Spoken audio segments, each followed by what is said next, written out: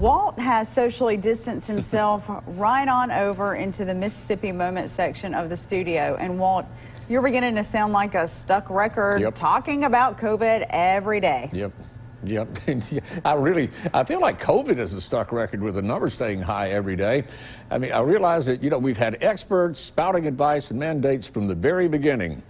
Often they conflict with each other. Sometimes they even conflict with themselves. But pretty much what has distilled out of all of this is COVID is a relatively easy disease to get.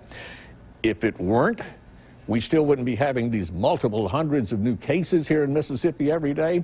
But like token, it's also one of the easiest diseases not to catch. Pretty much three things to do not to get it. Number one, just don't get too close to people because they may have it and be spreading it and not even know it. So stay at least six feet apart. You don't have to take a tape measure. You can just probably figure it out. That's the main vaccine we have against COVID, though, is distance. Number two, wash your hands. Uh, You don't get COVID through the skin, but if you rub your eyes or your nose or wipe your mouth, you could catch it if you have the virus on your hands. So just wash your hands a whole lot. And then three, for crying out loud, wear your mask. Jeez. That's for the rest of us. You could have it and not know it and be a typhoid Mary, wheezing and sneezing all over the grocery store and spreading it.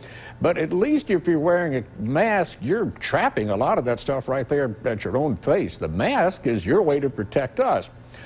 Now, do you know what the most complicated, complex thing in the universe is? It's not a galaxy, it's not the space station. It happens to be sitting right on top of your shoulders, inside of your head. It is the human brain. And when we use it against COVID 19, we'll turn the tide again. So quit doing dumb things. Don't go into large groups just yet, even if it's okay to do so. Like my daddy told me when I was growing up, son, if you don't go into those places, you won't get in trouble for being there. Makes sense. Stay away from where COVID's being spread, and you won't get it.